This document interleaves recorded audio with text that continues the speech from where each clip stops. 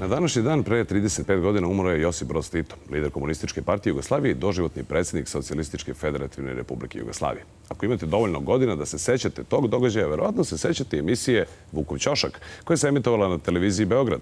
Serijal je bio poznat po jednom malom riđem dečaku po imenu Maksić, a ovoga jutra u mini rubrici Gde su, šta rade, moj gost je upravo on, Slobodan Negić. Dobro jutro, Slobodane. Dobro jutro, Miloše. Maksiću, Maksiću, dva lukvanja oko panja. E, pa možda dva meseca oko zemlje. Pa da, dva lokvanja oko panja. Dva meseca se okreću oko zemlje. Dva meseca ćeš ti meni provesti u čošku.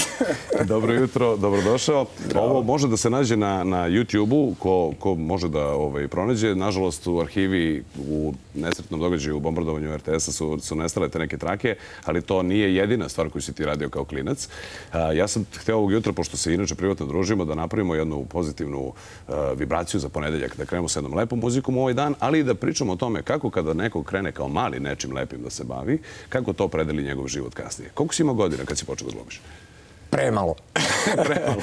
Imao sam osam godina kad sam upisao tu dramsku grupu kod Mike Aleksića na nagovor vlade Andrića Pestika. I ja mislim da sam imao devet godina kad sam snimao taj Vukov Ćošak. Miša Radović, Duško sin, naš reditelj, kasnije proslavljen, je radio nešto na početcima svoje karijere, što je bilo kao gratis za školsku redakciju. To je bio nekad lep običaj da ljudi koji završe FDU ovaj, poklone nešto okruženje u kome se nalaze. I onda je on uradio tu seriju ovaj, o tom jednom malom dečaku koji ulazi u ormar i tu sreće junake iz Vukovih priča, iz naših narodnih priča. I to je prosto mene lansiralo u orbitu popularnosti kakvu dan danas niko ne može da postigne, ali ne zato... Postoje jedna anegdota iz Sjedinjih američkih država. Postoje, ali to su me greškom zamenili sa tada nekim poznatom ličnošću koji je bio Carrot Top, koji je bio tada u usponu. Ti si očekivo da je Maksić u pitanju, pošto se to stalno dešavalo. Kako si se borio kao klinac? Kako si se toga setio? Pa, znaš šta, ovaj, to je bilo vreme, kažem, popularnost tolika je bila posljedica više toga što je bila jedan TV program. Ujutru, ja mislim, drugi program se emituje tek od jedan popodne. I mogu ti reći, nije baš to lako. Ovaj, kad si dete, ti ne želiš baš da odskačeš. Hoćeš da se uklopiš, hoćeš da budeš deo te neke zajednice. Ovako, kad krenem, ne znam, na čas u muzičku školu ili bilo gde, pa se skupi njih 30, 40, pa idu za mnom i viču, Maksiću, Maksiću, to i nije bilo baš uvek prijetno. Međutim, da se ne lažemo, nikome ne smeta popularnost i uvek ti na neki način otvara neka vrata u životu. Čak i moja supruga Milanka bila zaljubljena u Maksića kad je bila mala, pa eto vidi. Je se ostvario. Eto neke koristi. Osim Vukovog Ćoška, ti si se pojavio i u filmovima Čavka, zatim The Box, eh, onda Velika mala matura.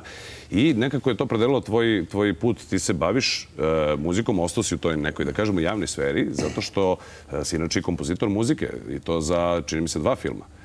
Pa da, e, ja sarađujem sa Nemanjom Usurovićem, u stvari radim blisko sa njim u studiju u muzičko-tonskom u Lajkovićevoj i mi se bavimo svim vrstama zvuka i muzike vezano za razne medije.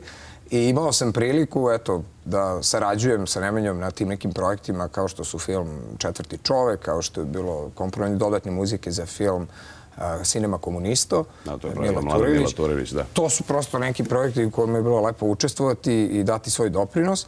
A muzikom sam se zapravo bavio od osnovne škole onako krišom. Ovo, pošto smo bili upisali na harmoniku, valjda su mislili to u Srbiji prolazi, možda sviraš svadbe pa da zaraviš pare. Da, da, ima Ali... meh, ima dosta mesta za, I, za, ima dosta za one, jest. E, da sam ih poslušao. dobro, ali... Šalim se, dobro što nisam. Prešao se na gitaru u jednom trenutku. Da, pa brat mi je dao jednu kustaru kad sam bio u osnovnoj školi, ja sam to tako počeo za sebe da ovaj, sviram, sviram, sviram i na kraju sam iz ljubavi to pretvorio u svoju profesiju ja sam studijski muzičar i aranžiram, komponujem muziku i inače i sviram iz ljubavi, sviram dugo vremena u Diluna Blues Bandu sa Maretom Dilunom. Dođite, poslušajte nas, mi smo u Jazz Bašti ili u Muha Baru ili u Voxu na Banovom brdu. Imamo stranicu Diluna Blues Band na Facebooku, tamo uvek postojemo naše svirke u napred i ljudi nam se javljaju i podržavaju nas u tome. Mogu reći da je ta jedna scena prilično dobro ovaj, oživjela i preživjela sve ove teške godine i danas to izgleda mnogo lepše i mnogo bolje, kao da smo u nekoj svetskoj metropoli. Hoćemo da, hoćemo da poklonimo našim gledalcima ovog jutra neki bluz? Pa, mogli bi. Ja sam odlučio da vam ociram jednu kompoziciju od Robert Johnsona koja se zove Malted Milk ili Majčino mleko. Svi mi ljudi, sisari. Odlično, ja sam ododio emisiju. Hvala vam što ste bili uz Tačno 9. Vidimo se sljedećeg ponedjeljka. Sutra tu sa vama Sanja Radan. Imamo i poseban pozdrav za jednu malu gospodicu Negić, Sofiju. Pozdravite tata, a sada idemo na blues. Malted Milk.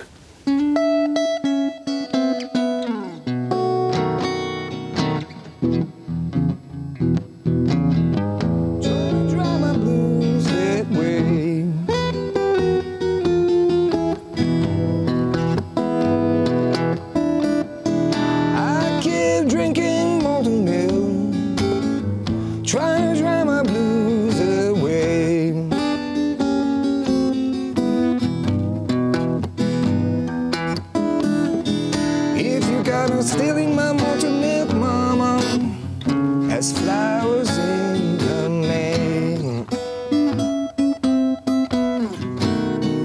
Malted milk, malted milk,